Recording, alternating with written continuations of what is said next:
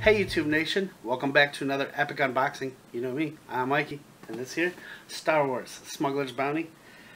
Oh, theme slipped my mind. I want to say Jedi. I think it's Jedi. Let's just, let's just say it's Jedi. I don't know. Um, already cut the tape, so we're going to jump right in. Always on the top of the box, we get a patch and a pin, an enamel, a hat pin. Uh, come on. There we go. Try and get it out of the package so I can show you better. We got ourselves Jedi Knights patch with the old Luke in there. This is a Lucasfilms LTD. And who is this?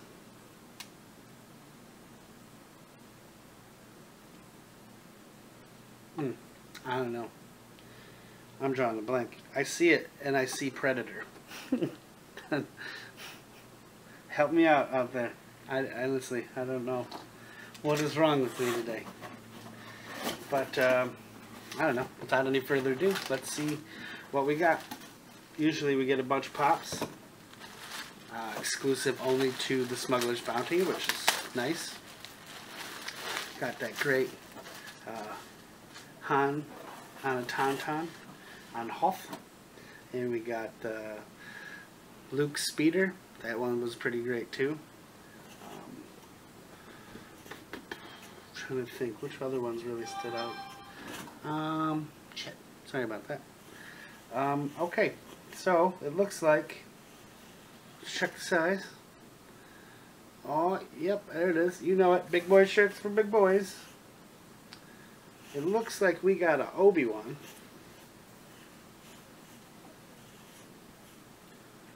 From the... Um, from the cartoon. Again, I don't know. My brain's like oatmeal. It's so hot. So hot. All I keep thinking is pant like a dog. This weather is insane for September, don't you think? But I'll I'll tough it through. I'll sweat it out for you guys. The lights, the camera. I'm just kidding. It's not so hard. Alright. Looks like we got a plushie. What are these? Mopeez? Nope, just a plush. Disney, of course. Yoda. His hair is very soft. Smells like an old man. Like a hundred and something year old man.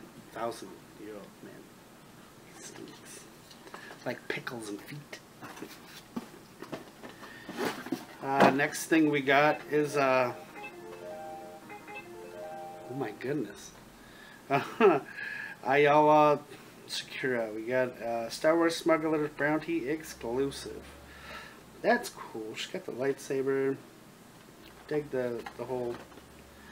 General Grievous would have been cool. I don't know if that was even an option. There's no card in here to tell you if there was variants or you know, Qui-Gon Jinn, worst Star Wars character ever.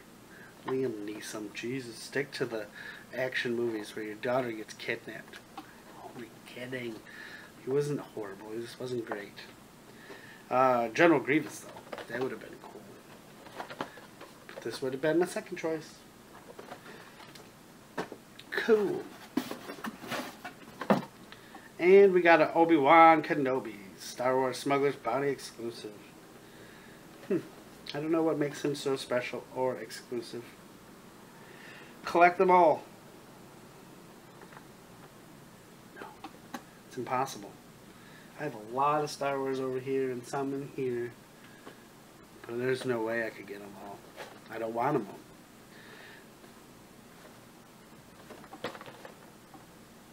Obi-Wan. So, I like Smuggler's Bounty. It's straight to the point. You know, it's a Funko thing, so you're getting exclusive pops, plushes, Funko T-shirts. Although I will say, I'm kind of happy that the shirt isn't in that like pop style like it usually is, because that's usually what you get is a pop tee. But, uh, very cool. Um, did you have a favorite item in the box? Do you have a favorite Star Wars character? Um, if so, tell me down here down here. Am I close? Where am I? Right down here. Um, yeah, favorite movie? I know Rogue One was sick. Um, they all are, really. Anyways, I hope you guys are having an amazing day, evening, morning, wherever you may be. Thank you so much for watching. Uh, you make this a lot more fun, you know, unboxing stuff. So, thank you for tuning in. Uh, leave your comments down below. Let me know what you liked, what you hated about this video. Thumbs up, thumbs down. You're the emperor. You rule my fate. Uh, and don't forget, more comments. Let me know how you're doing. How's the kids? How's the weather in your neck of the woods? Any fun plans coming up? Uh, I don't care. We can talk about anything. I hope you're all doing well. Till next video. Ciao.